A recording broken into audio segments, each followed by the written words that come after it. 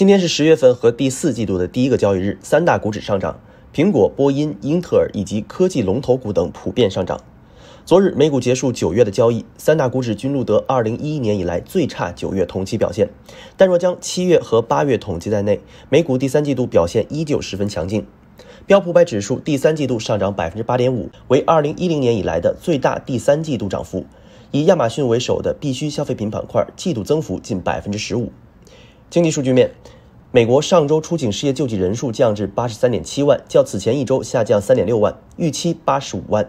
持续领取失业救济人数较前值减少一百万，降至一千一百八十万。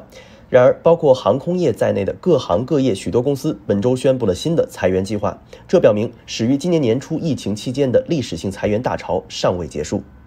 如果您喜欢本期视频，请关注、点赞并分享，下载 App 解锁更多功能。我们下期再见哦！